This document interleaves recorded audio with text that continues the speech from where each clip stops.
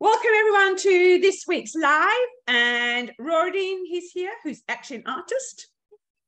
Hello, everybody. And myself, Chantal, who's a holistic counselor, but also supporting women in business. And this week we are going to be talking about, ta-da. we are going to be talking about blank pages and what that feels like. Sometimes it feels really liberating, and sometimes it can feel really daunting. Um, but how we have to let go of the thoughts, the perfectionism, and just sometimes just play and let whatever needs to come out come out and flow. Chantal.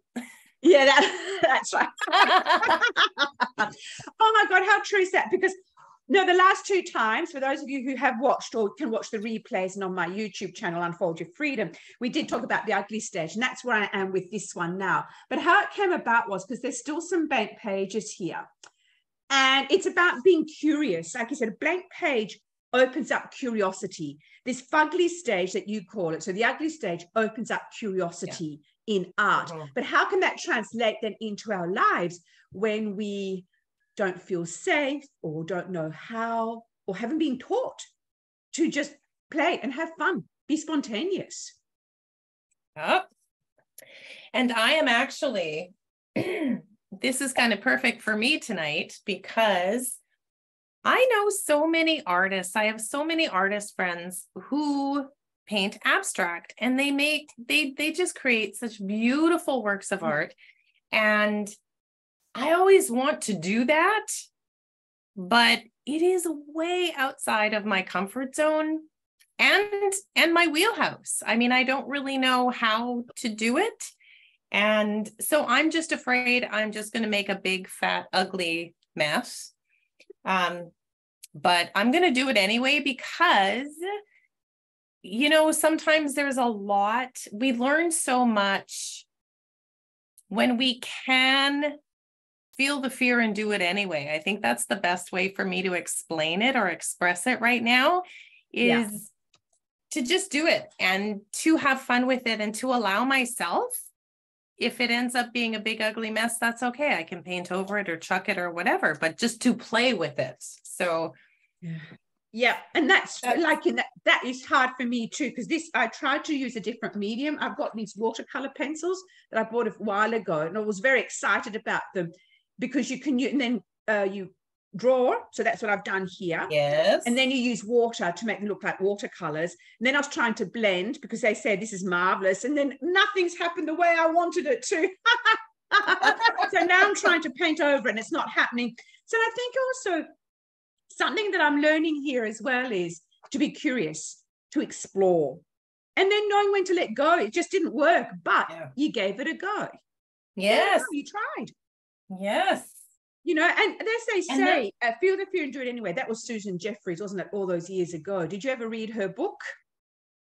I don't think so. Yeah, I read it years ago, and it was one of those things that um, you've got to feel the fear and step out of that. But I know for me, when I I needed to feel safe for a long time. So of course, fear was too difficult to feel. So it was a lot mm. easier to be outside my body, to be away there. So doing anything different was too scary to do um, because my right. self worth was so low that, oh, I can't do that. So that, of course, translated into my business, into posts I wrote, into how I responded to people, because all that comes out fear of judgment. Yeah. Am I saying the right thing? And and I was just think, yeah, you do that. I do that too, that fear of judgment. But then you do you feel, do you find that you then get awkward?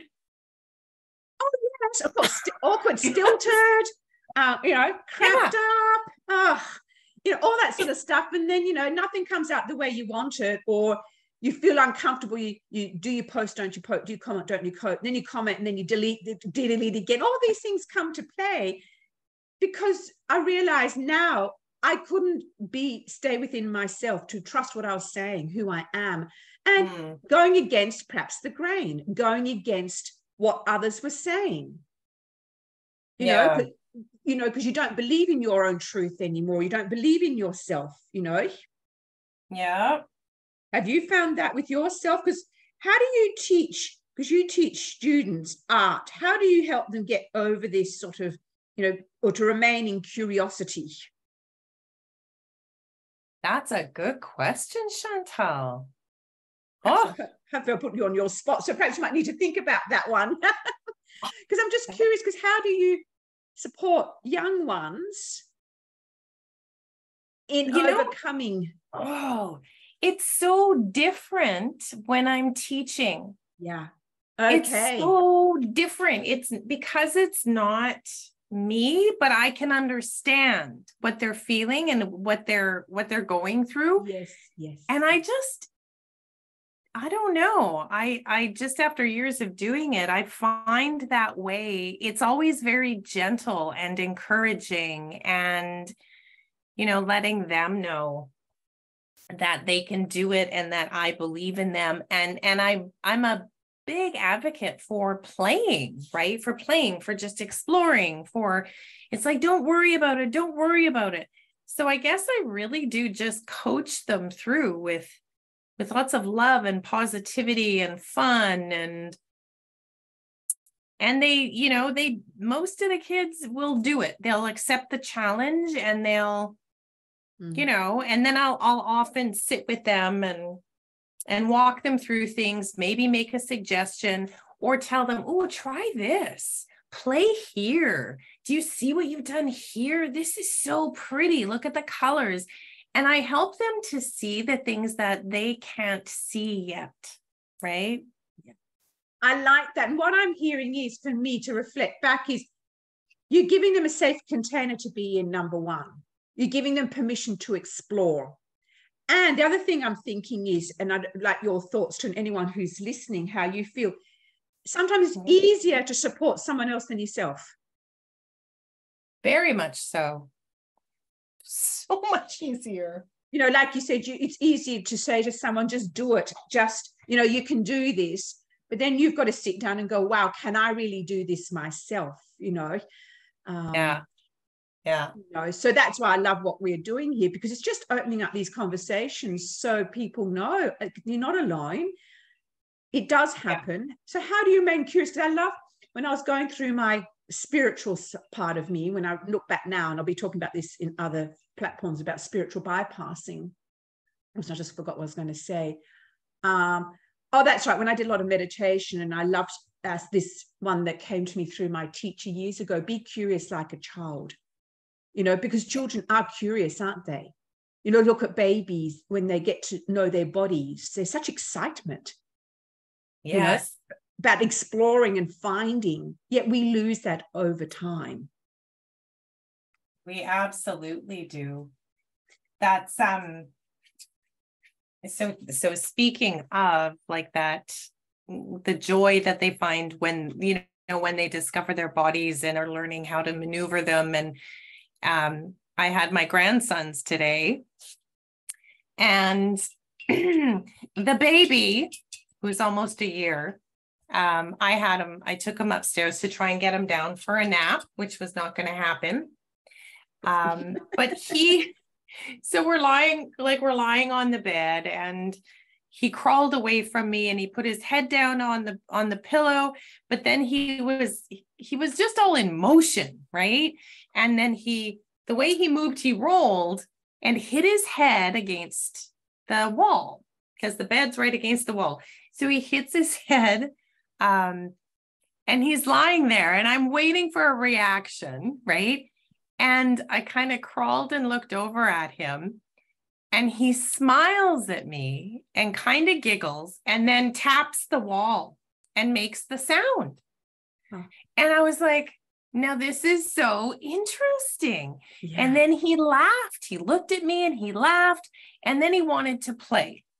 And I just thought, you know, following his lead with the play too, because I yes just touch his tummy and he he'd giggle away, right? And then I touch his foot and he'd giggle away and pull his foot away. And then, of course, he'd put his foot back, right? So it, it was just fascinating. And I really did think about how how they do interact with the world and how there's that it is all new but to them it's safe and fun at that especially when they're that young. And i was like i need more of that myself right? Yeah. yeah. just more of that. Yeah. Fun curiosity exploration. And the other thing like is letting go of the your grandson needed to ha- go to sleep you know because sometimes got to go to sleep. So we focus on that rather than just going you know what?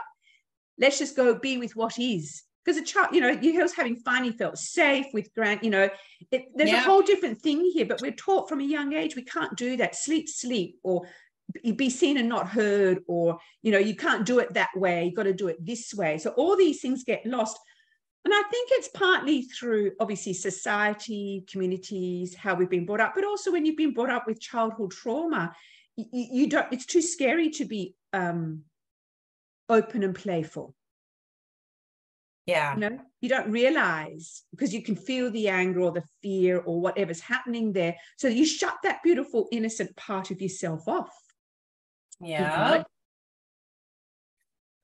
that's so Yeah. true you know and how do we come Then- back to that Hmm?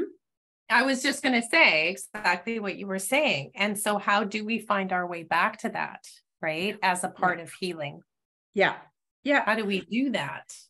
Well, I think you know it's interesting. I think at weeks, you know, everyone has their own ways, and you do different things over the years. So I think again, it's like finding what lights you up. But again, I know for me, when I first started looking at what did I want, I didn't even know what I wanted. I didn't even know what let me up because I, I hadn't been taught to think like that. Like I can think for myself and I can do something I want and love and I can explore. So I think it takes time to allow yourself to. Now, having said that, I'm just wondering now.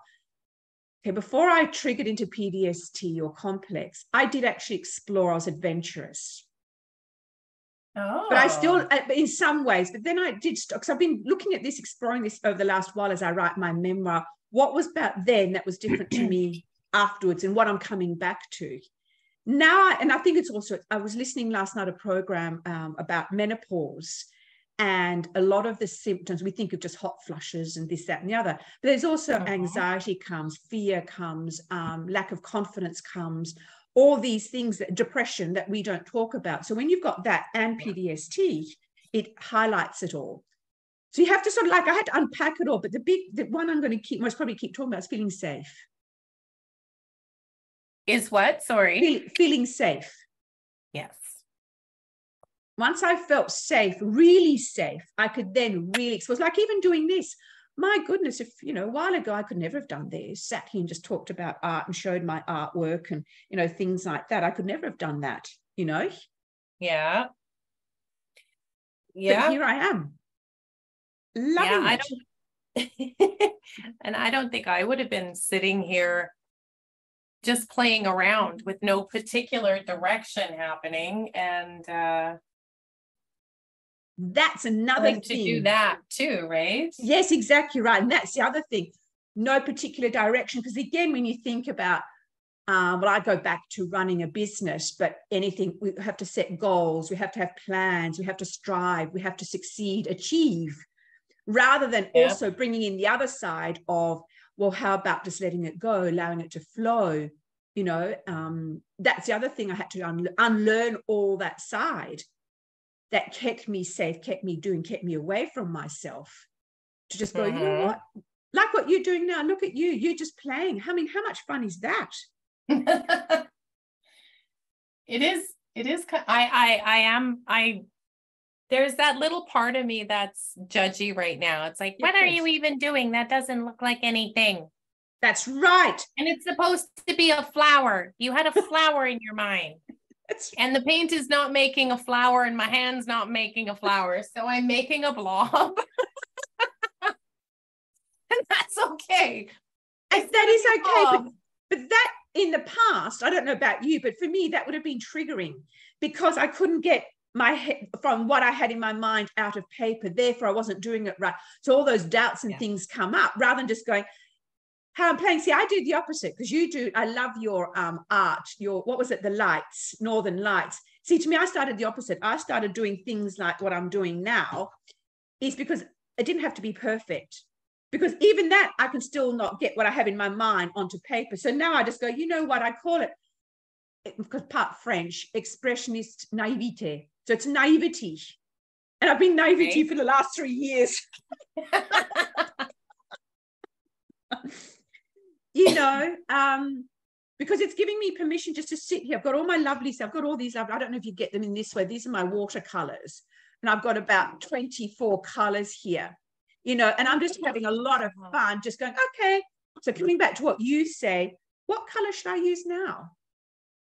How right. should I explore that? How should I, what should I put that color with this color? So that for me is my curiosity and opening up, you know?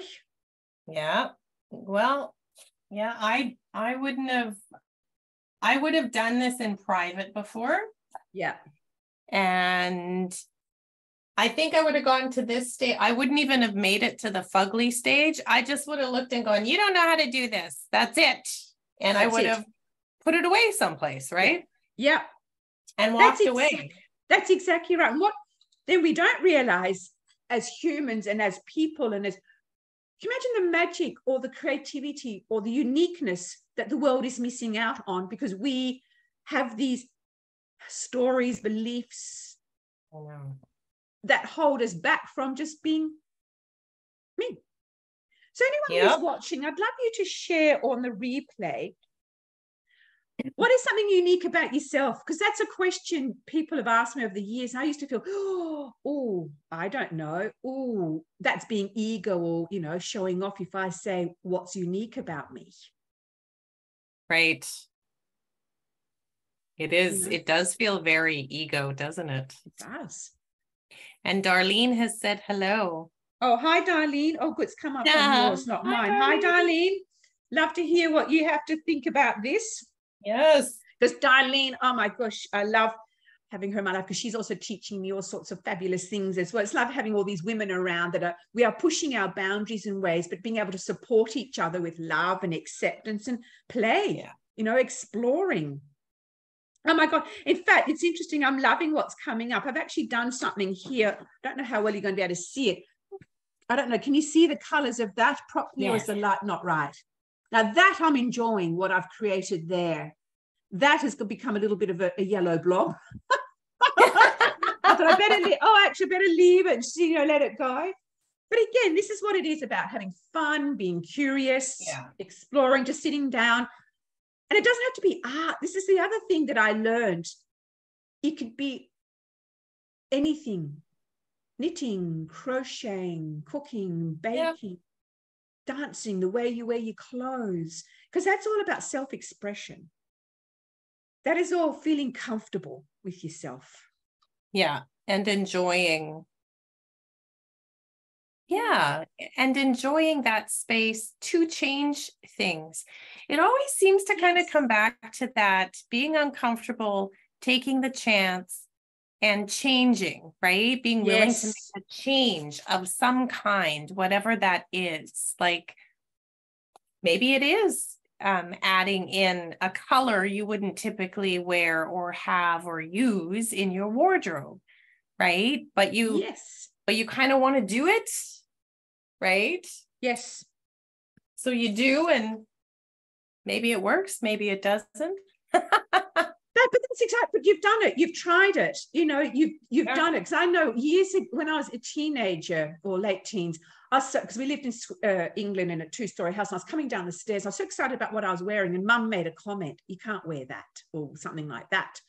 And of course it went bump. And she only said years later she remembered that she actually apologized and said i'm so sorry darling because of your way of expressing yourself now, as it happens with oh. my clothing, that never stopped me, thank goodness. Might have done things in other things. but I think it's about also perhaps starting somewhere where you can be kind and gentle with yourself.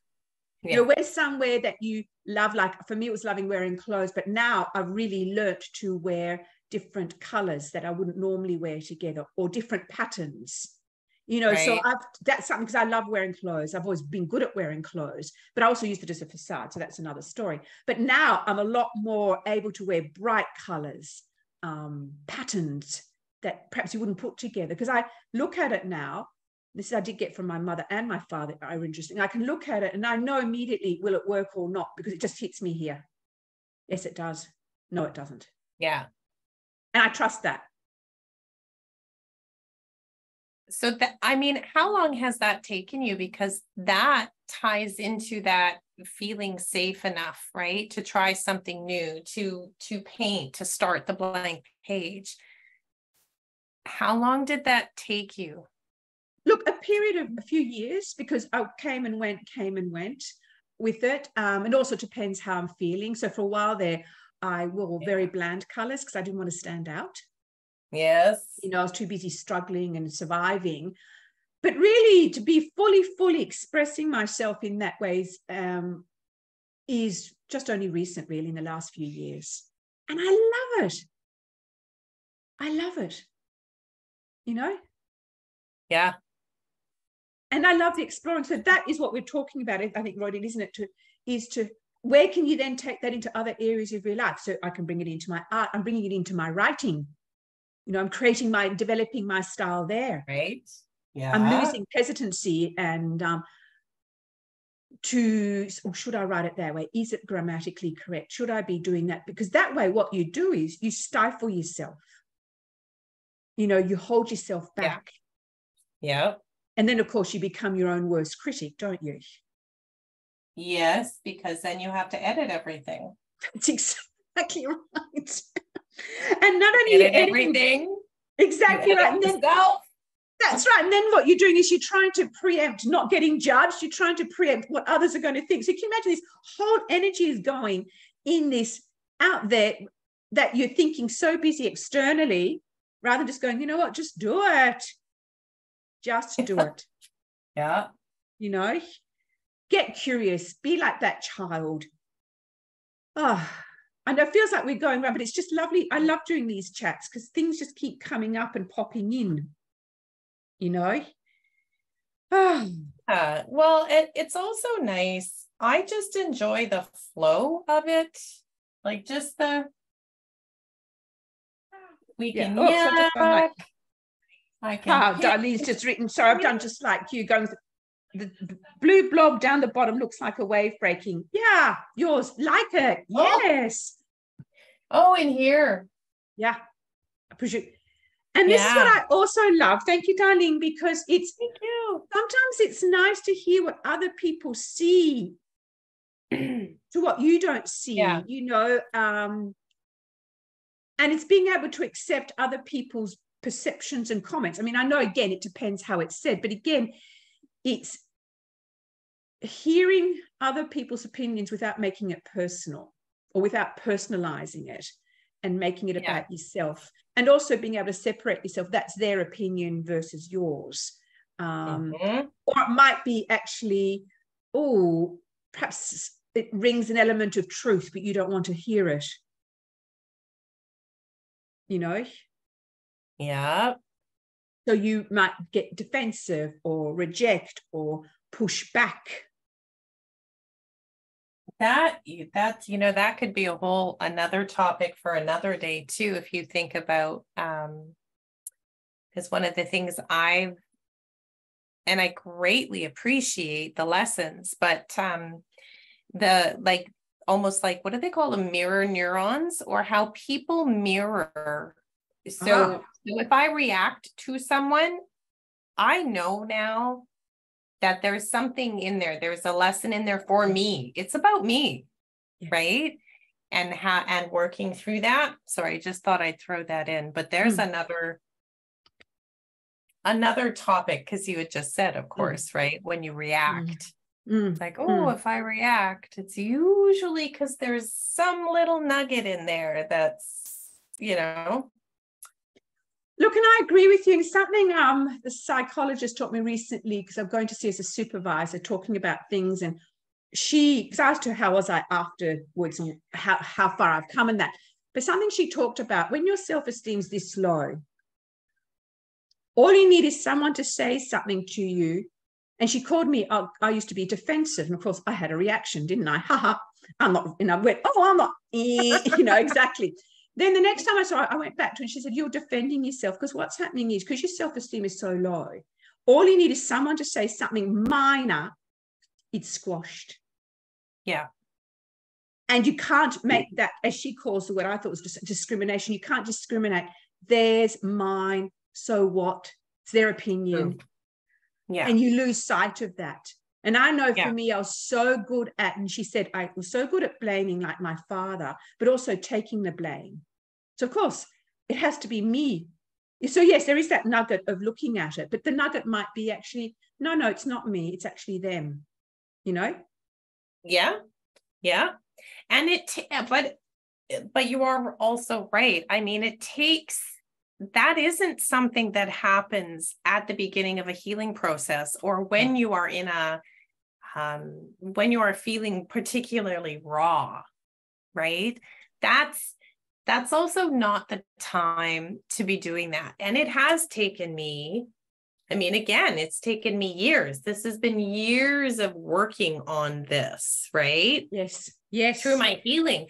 But back back in the beginning, there yeah, I that was not the time for me to to do that. It wasn't the time. Exactly So- right. Exactly right. And this comes back to, and again, another Yeah. topic toxic positivity and bypassing and all those things, because that's exactly what she Mm. said. Um, she said, I had to sit here, and that's what she's learned. I mean, she's been doing this for 40 years and working with Vietnam vets and PTSD a lot. But she said, I also had to know how to hold you, to know when you were ready Yes. to hear that gentle challenge. Otherwise, I would have run out that door and never come back, potentially. It's true. Yes. So it's a fine line when you are as a therapist to also know when can you and when can't you when you know because sometimes it's just important that you speak out speak it out. You know and that's when she said afterwards which was really amazing she said look at where you are now. You know i could never have i couldn't have done this a while ages ago you know. So it was good it was a good observation to see. You know because it's good Mhm. sometimes you need to get that reflection back at how far you've come you know and it's exciting Yeah. and this ties back to as we sort of come to the end ties back to being able to be curious Yes.